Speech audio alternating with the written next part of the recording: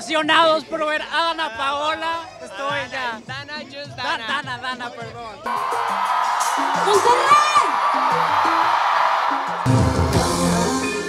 Dicen que tengo mala fama. Como parte de la celebración de los 200 años de la fundación de Nuevo León, se contó con la participación de una de las cantantes más completas del medio artístico, Dana Paola, conocida ahora como Dana, quien apareció derrochando sensualidad en el escenario. Desde muy temprana hora, sin importar las altas temperaturas, el recinto comenzó a inundarse con decenas de jóvenes para disfrutar más de cerca de la denominada princesa del pop latino. A las 7 de la mañana.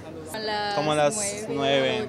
Ajá. Llegamos como a las 12 del mediodía y espero pues y me suba al escenario.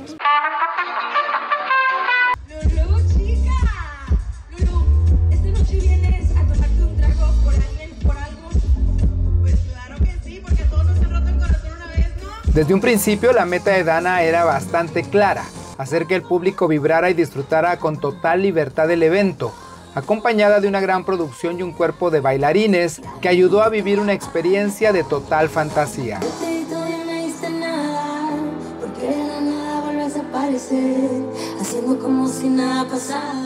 Dana Paola, quien se ha posicionado entre las principales tendencias durante el mes de abril por múltiples razones, una de ellas el preferir a España en lugar de México. Pero ¿qué opinan los fans al respecto? Igual México se lleva en el corazón a donde quiera que vayamos, la verdad. Pues yo creo que cualquier persona puede tener diferentes opiniones. ¿Quién soy yo para juzgar, bebé? Todos tienen sus gustos, no tenemos por qué juzgarla. Ella lo hizo por algo y está bien, no sé por qué la atacan.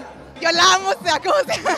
Fue así como miles de asistentes disfrutaron de la también actriz mexicana Dana Paola en la tercera edición del Macrofest de este año en la explanada de los héroes.